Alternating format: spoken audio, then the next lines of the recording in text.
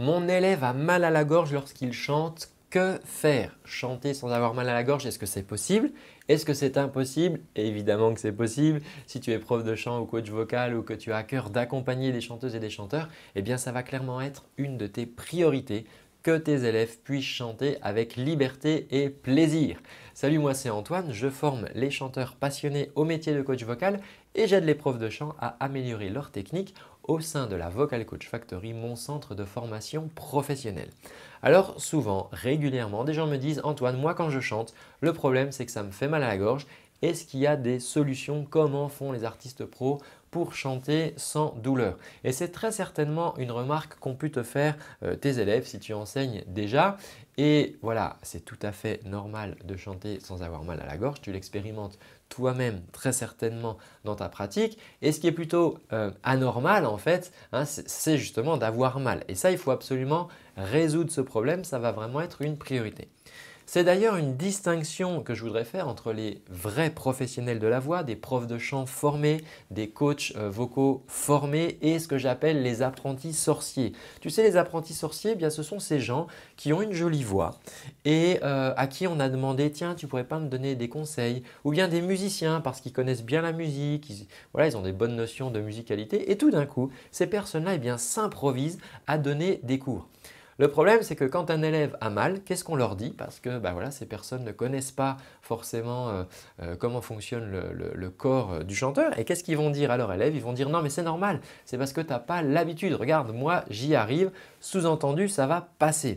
Et c'est vraiment véridique. Hein. Moi j'ai entendu comme ça des, musiciens qui, donnaient des, qui donnaient des cours de chant dire non non mais en fait c'est parce que tu n'as pas l'habitude, c'est pour ça que ça chauffe, mais après tu vois ça va se faire. C'est un petit peu comme la corne, la corne sur les mains quand, on, quand on travaille, quand on fait des travaux manuels. Donc évidemment c'est complètement faux, d'accord? Il ne faut, pas que tu crois ça. Si on t'a dit ça, toi en tant que chanteuse, en tant que chanteur, il ne faut pas le croire. Et euh, bah, si tu es prof de chant ou coach vocal, j'espère que tu ne dis pas ça à tes élèves euh, parce que ça va créer deux problèmes en fait. Le problème, c'est que euh, quand on dit ça passe pas, il y a un danger, d'accord? Il y a un danger de bah, que la personne en fait elle continue à se blesser. C'est-à-dire que tu valides le fait que c'est normal que ça fasse mal, et qu'un jour peut-être ça va plus faire mal. Et donc ça, ça veut dire quoi? Ça veut dire qu'en fait la personne elle va continuer à chanter, elle va avoir mal, ça va lui chauffer la gorge, ça va lui gratouiller, mais dans sa tête elle va dire « ouais non mais le prof m'a dit que c'est normal, c'est le temps que ça se fasse. Et donc, elle risque de chanter encore et encore comme ça sur une voix fatiguée et en se faisant mal. Donc ça vraiment, il y a un vrai danger parce que là, on va arriver à des lésions au niveau des cordes vocales, on va arriver peut-être à des œdèmes avec euh, tout ce qui peut euh, s'en suivre. Donc ça, c'est le premier problème et c'est absolument inacceptable de laisser des chanteuses et des chanteurs dans cette situation. Le deuxième problème que ça crée, euh, et là c'est plus un problème psychologique, c'est la culpabilité parce qu'on va laisser croire au chanteur qu'en fait c'est de sa faute. C'est parce qu'il n'est pas habitué, c'est parce qu'il n'est pas assez bon, parce qu'il n'a pas assez d'expérience et que c'est pour ça qu'il a mal. Et eh ben, le problème c'est que si tu mets ton élève comme ça dans la culpabilité, il va plus oser dire. Et quand toi tu veux dire ça va, ça se passe bien, lui va dire hum, ça va, ça va. Alors qu'en réalité non, il a mal. Et du coup tu vas clairement passer à côté d'un truc euh, justement de traitement de sa douleur. Et c'est vraiment pour moi une priorité, si tu es coach vocal, de traiter la douleur. Peu importe du son, peu importe de la justesse, si ton chanteur il a mal, on va commencer par ça. Alors, de quoi ça peut euh, venir? Juste avant, n'hésite pas à t'abonner à cette chaîne YouTube, active bien la cloche de notification et tu seras prévenu des prochaines vidéos et des émissions en live.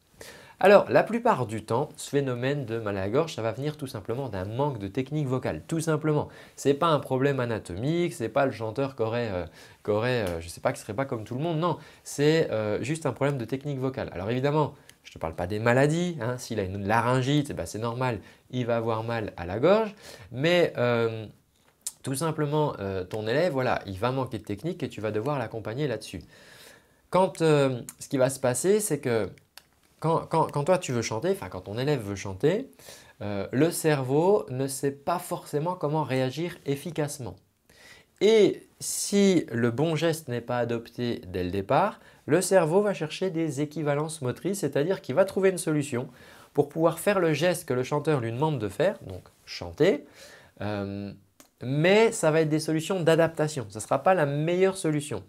Je te donne un exemple. Lorsque par exemple tu as mal aux dents, euh, tu vas pas faire exprès de mâcher des aliments avec la dent qui te fait mal, d'accord Non, ta langue assez naturellement va placer les aliments de l'autre côté, du côté où ça ne te fait pas mal, ok? Et tu vas pouvoir mâcher du bon côté pour gérer cette douleur. Et donc ça, c'est une équivalence motrice, c'est-à-dire qu'on va chercher un geste équivalent qui donne satisfaction, mais qui ne va pas forcément être optimal. ok? Et euh, bah, quand on chante, il peut se passer ça. Donc, si ton chanteur ne sait pas trop comment faire, le corps lui, bah, il va trouver une solution, il va se débrouiller pour qu'il y ait quand même du son qui sorte. Et euh, simplement le problème c'est qu'au lieu que ça se fasse de manière libre et que ça sorte facilement, eh bien euh, le corps risque de forcer un petit peu, de surcompenser euh, avec d'autres muscles et à la longue eh bien ça va fatiguer, ça va fatiguer la voix de ton chanteur et eh bien il va avoir des douleurs. Donc c'est un petit peu comme si on mettait un pansement comme ça. Bon le pansement ça peut soigner une petite cicatrice mais ça ne va pas guérir d'une maladie. Donc la vraie solution bah là ça va être vraiment de t'engager avec ton chanteur sur le chemin de la technique vocale. C'est sympa de chanter, de répéter, d'interpréter, de faire de la musicalité, mais au bout d'un moment, ben voilà, il faut appeler un chat un chat. Il faut aller s'engager dans la technique en profondeur, d'autant plus s'il a mal, ça va vraiment devenir la priorité. Alors, ce que tu vas pouvoir travailler en tout premier lieu avec lui, ça va être la respiration. Et il y a deux choses à intégrer dans la respiration, c'est ce que j'explique vraiment au tout début de l'école de coaching dans la Vocal Coach Factory. Et rien que grâce à ces conseils-là, les coachs sont capables déjà de travailler, de prendre en charge des euh, chanteurs débutants dans leur apprentissage.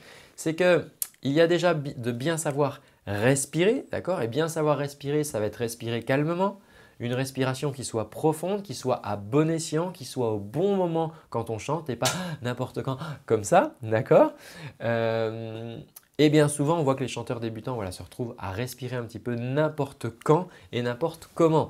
Du coup, ils se retrouvent avec plein d'air euh, dont ils ne savent pas quoi faire euh, et cet air qui va eh ben, fuiter, qui va sortir de manière non contrôlée et ça m'amène justement au deuxième point qui va être la gestion du flux d'air. Parce qu'une fois que tu auras appris à ton élève à bien respirer, c'est-à-dire à faire rentrer l'air dans ses poumons finalement, eh bien il va falloir apprendre à gérer la sortie, ce fameux flux d'air. Puisque c'est euh, il y a une quantité d'air qui est euh, dans les poumons et la sortie de cet air quand on chante, d'accord, cet air va être expulsé vers l'extérieur et cet air étant donné qu'il va mettre en mouvement, en vibration les cordes vocales, eh bien va bien falloir le gérer parce que c'est là que de la fatigue peut arriver et des douleurs et la gorge qui gratte ou qui brûle, c'est quand on gère mal son flux d'air, on gère mal la sortie. Et beaucoup de profs de chant s'attachent à bien respirer et sous-entendu à bien inspirer, alors qu'en réalité, ce qui va vraiment nous intéresser, c'est surtout la gestion du flux d'air, donc de la sortie. Sinon, les cordes vocales, eh bien, elles vont frotter, elles vont s'irriter. Si tu pousses trop d'air, d'accord? Si ton élève, il pousse trop d'air, notamment s'il a vu quelque part ou qu'il aurait entendu dire euh, qu'il faudrait pousser fort avec le ventre, ce qui est absolument faux, hein, on est d'accord, on arrête avec ça, ça c'est des méthodes, c'est des vieilles méthodes des années 70. Donc on ne, pousse pas du tout avec le ventre, mais si jamais ton élève se retrouve dans cette situation-là, il va pousser trop d'air et là les cordes vocales, elles vont se faire chahuter, elles vont se faire secouer, elles ne vont pas être contentes non plus. Donc la clé essentielle, une des clés majeures, ça va vraiment être d'accompagner ton élève sur le chemin de l'apprentissage de la gestion du flux d'air. Je parle bien d'apprentissage parce que là on parle de psychomotricité, on parle d'apprentissage moteur, d'accord Comme les sportifs, c'est pour ça que moi je me suis beaucoup inspiré du travail euh, des sportifs qui sont très forts là-dedans dans le fait d'apprendre un bon geste. Pour faire ça, bah, tu as plein d'exercices rigolos. Hein. Si tu en as besoin d'ailleurs, tu peux, tu peux me le notifier dans les commentaires de cette vidéo. Il y a plein d'exercices très simples, très rigolos et euh, que tu vas pouvoir mettre en place. Tu en trouveras sur cette chaîne, j'en enseigne plein dans la Vocal Coach Factory et vraiment, euh, tu vas voir que d'une manière très ludique, tu vas pouvoir aider euh, ton élève eh à améliorer sa technique vocale et surtout à supprimer ses douleurs quand il chante. Et ça, tu vas pouvoir le faire en deux à trois coachings maximum. Hein. Il n'y a pas besoin de mois et de mois pour mettre ça en place. Alors si tu es euh, chanteuse, chanteur passionné et que tu souhaites te professionnaliser, tu as peut-être aujourd'hui l'envie d'aider les autres, d'accompagner des chanteuses et des chanteurs comme toi passionnés et qui ne savent pas comment s'améliorer, eh bien euh, pour cela j'ai créé la Vocal Coach Factory. La Vocal Coach Factory est un centre de formation au métier de coach vocal. C'est également un centre de perfectionnement pour les personnes qui enseignent déjà et qui souhaiteraient euh, euh, améliorer eh bien, euh, leur, leur, état de l'art. et donc cette Vocal Coach Factory, centre de formation professionnelle, eh bien, ouvre, ouvre ses nouvelles candidatures pour la troisième saison qui va démarrer au mois de septembre 2023. Donc je ne sais pas à quel moment tu regarderas cette vidéo, mais si c'est quelque chose qui t'intéresse, tu vas trouver un lien à la fin de cette vidéo ou dans la description où tu peux aussi te rendre sur le site www.vocalcoachfactory.fr. Tu y trouveras toutes les ressources, le programme pédagogique, euh, les frais d'inscription, le planning euh, de suivi des cours et puis un lien pour prendre rendez-vous avec moi pour échanger sur ton projet librement et peut-être même candidater à cette école. J'ai hâte de pouvoir échanger avec toi si tu es passionné par le milieu du coaching vocal et moi je te donne rendez-vous dans une prochaine vidéo. Ciao